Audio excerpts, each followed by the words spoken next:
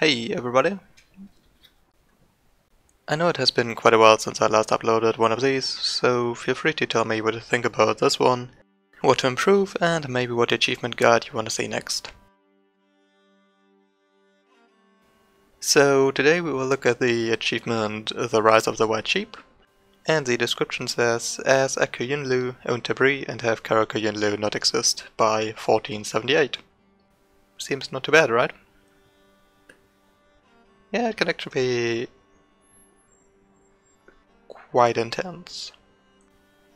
So when starting you usually have two options. The first option is more time efficient, but unfortunately also has a higher risk of you losing the war because uh, you are smaller and weaker.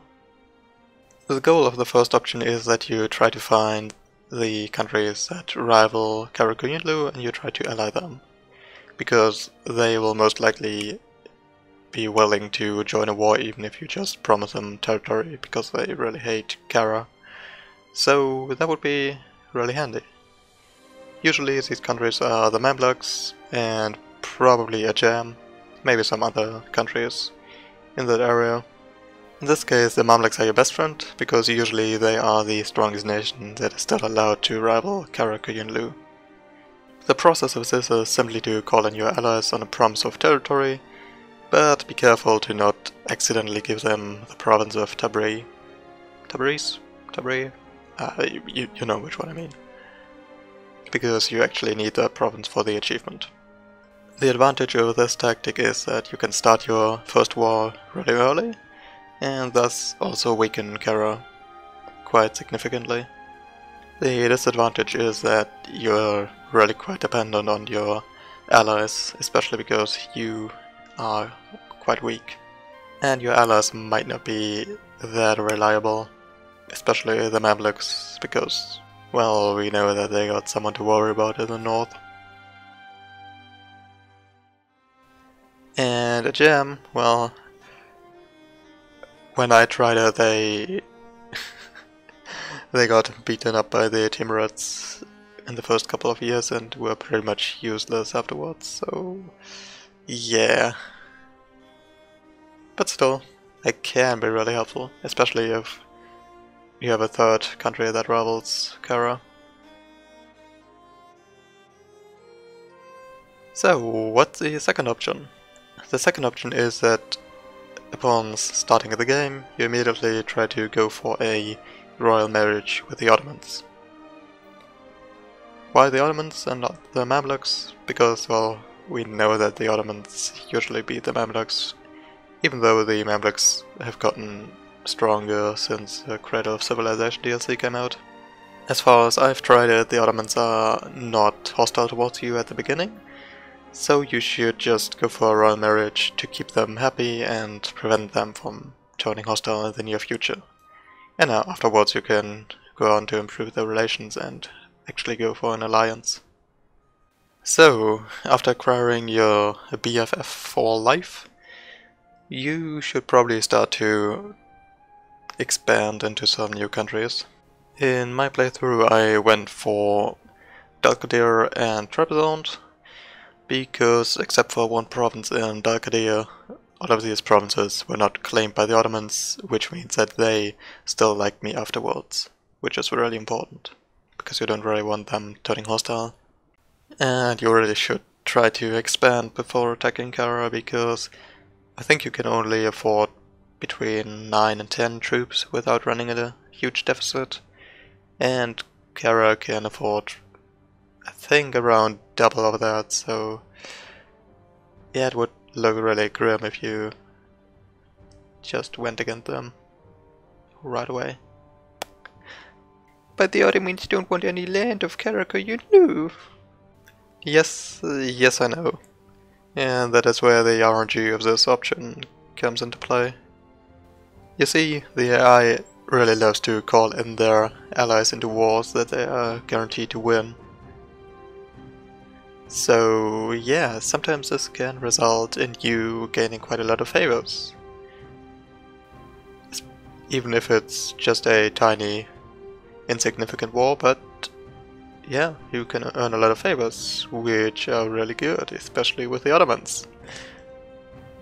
And yes, I know that this option is really dependent on luck and RNG, but the positive thing is that if you call in your allies like the Ottomans on favors, that lets you take as many provinces for yourself as you want.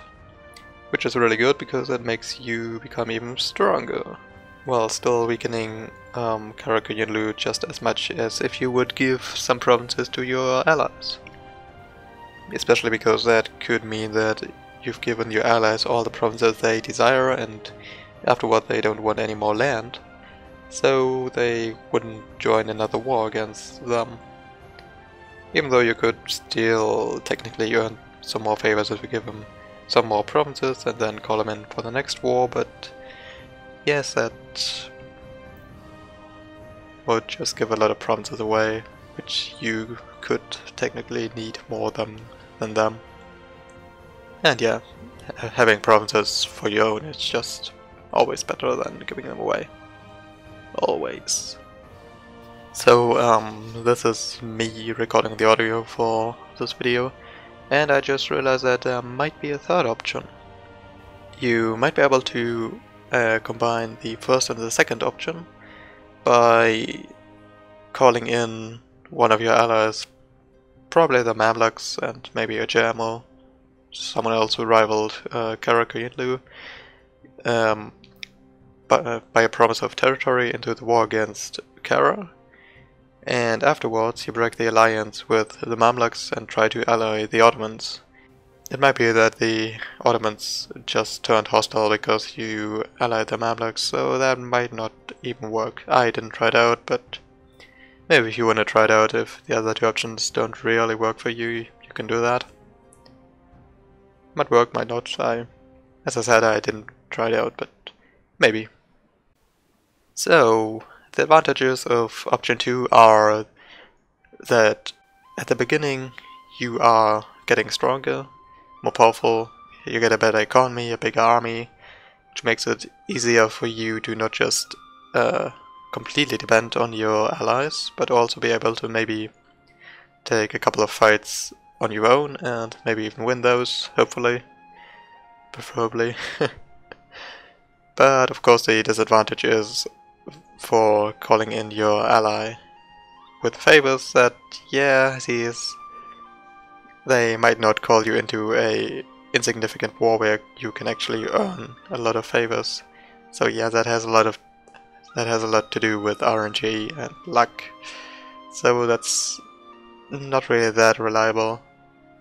So yeah, after your first war against Kara, you usually are looking at at least a 15 year truce because you should try to take a 100% peace deal in your first war to weaken Kara as much as possible.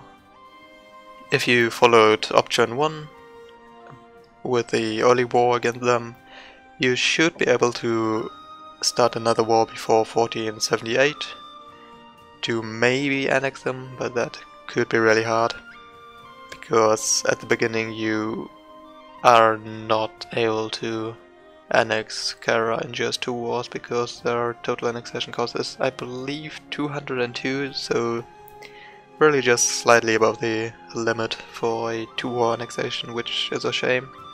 However, when you first attacked Kara it is really likely that they had at least one or two allies maybe Mushasha or someone of those little um, Persian minors, or maybe even one of the Arabian ones.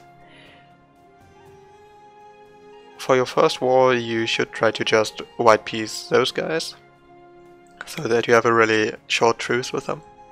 So after your first war, you just have to wait for that really short truce, then you can either no CB against those guys, and then call in Kara-Koyunlu as a normal enemy war ally. So that way you can fight them again, weakening them even more. Sure, that would extend your truce again, but you know, at least you weaken them again, keep them weak, and also take some land so you can maybe fully annex them if you start another war.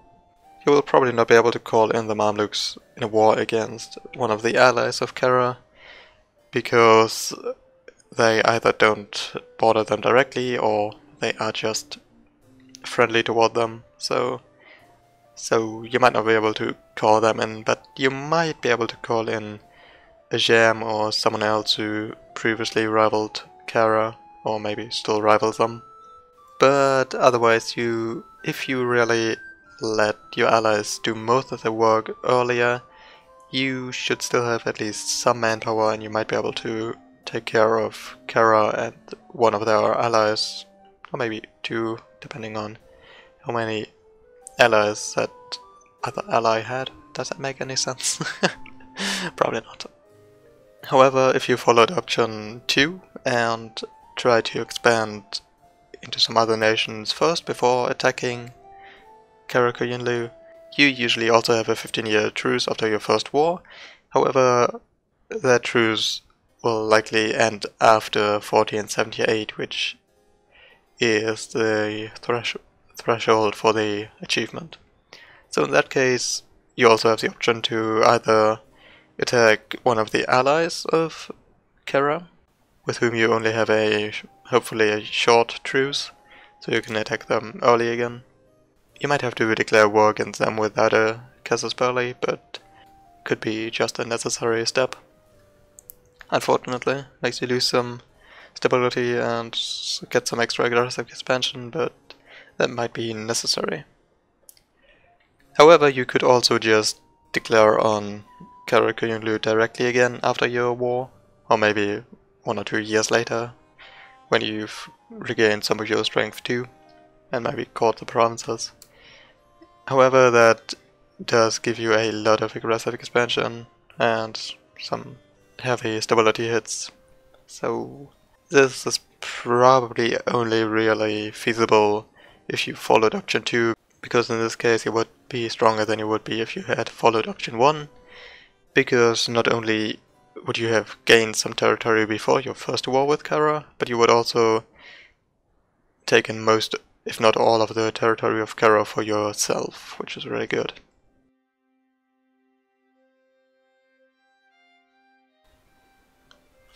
And because it is really likely that you are not able to annex Kara Yunlu in only two wars, you might get lucky if they have some nationalist rebels, maybe from Iraq or Armenia or somewhere else, that make a province either defect or create a new country on its own.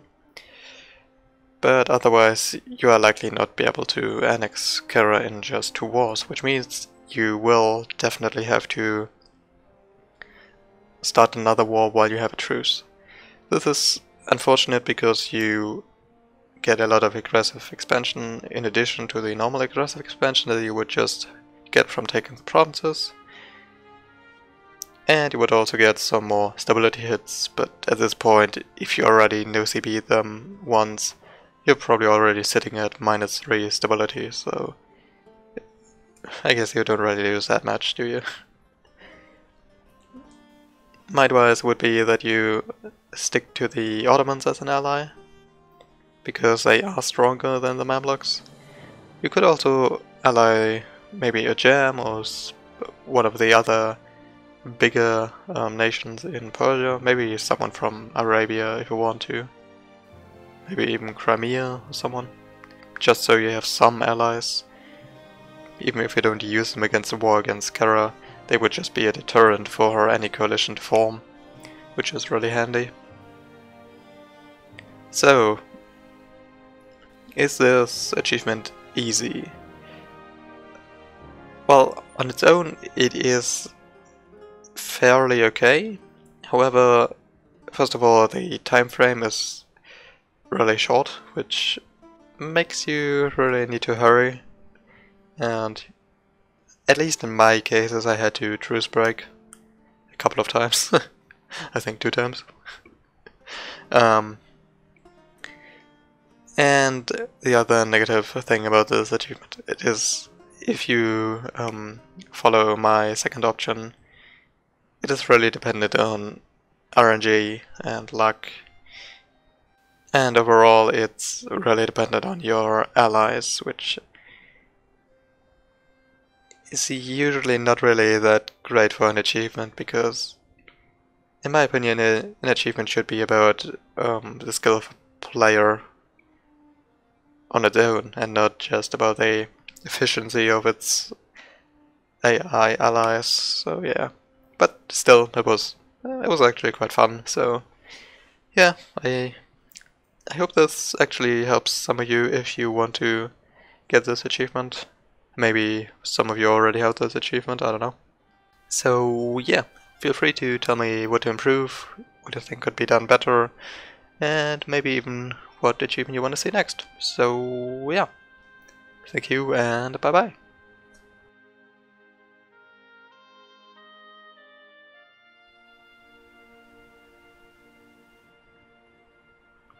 Oh, wait, wh what?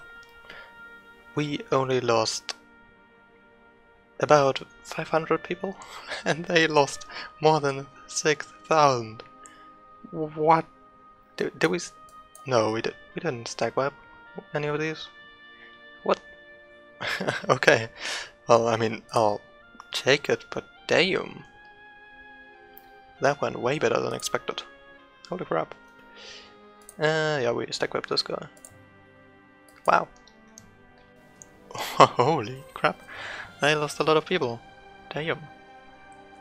Why did they Jesus, the Ottomans are definitely not OP.